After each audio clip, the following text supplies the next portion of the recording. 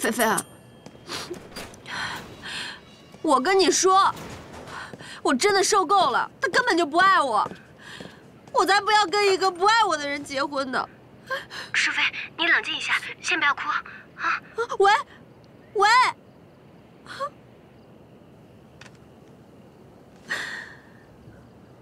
我怎么这么倒霉？我到底哪里做错了？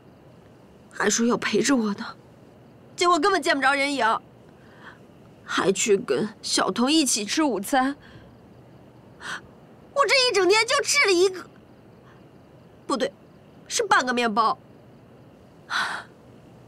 还说想跟我结婚呢，连个求婚都没有，就想用九块钱领个证来打发我。他们一起吃早餐，一起吃午餐，一起吃晚餐。我才不要做这种悲惨的新娘呢！我要悔婚！呀呀呀！蓝导，你惨了，咱三妹要悔婚了！哎呀，车呢车呢，快放影片！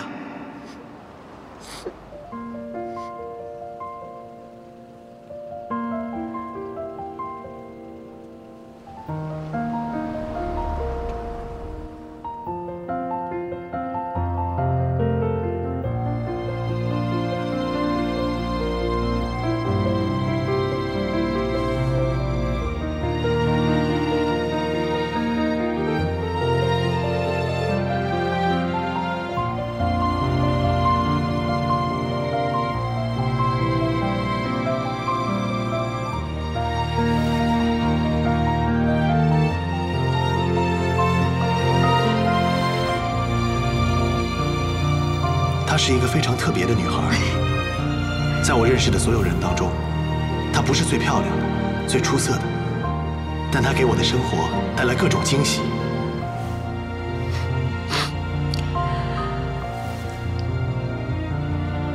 对我来说，她就是这个世界上最珍贵的女孩。